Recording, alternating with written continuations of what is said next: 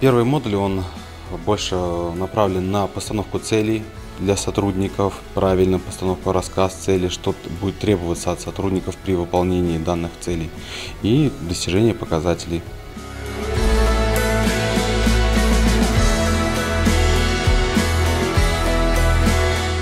Модели очень все современные, то есть модель, которую мы разрабатываем и передаем, это самые современные модели, которые сейчас есть, которые используют многие компании э, производственные.